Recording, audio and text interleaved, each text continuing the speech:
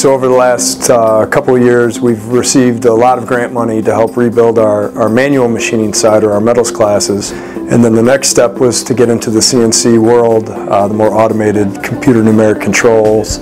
Um, and we started with a Tormach mill and then kind of developed a vision could we find a way to get more of these machines in one spot because the community, industry in the community was really calling out for kids with some experience in the manual as well as the CNC side.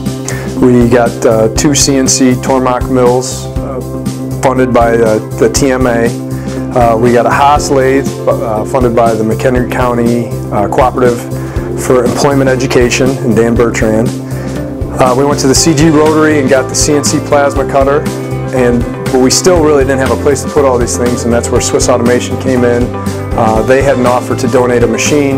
We explained to them our, our vision for the class, and um, they generously offered to remodel the space. And so we're kind of putting the kids, getting the kids experience on all those machines.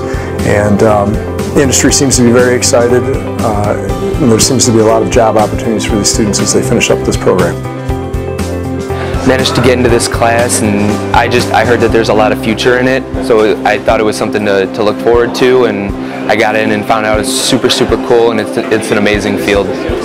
I got into this because of Mr. Manning.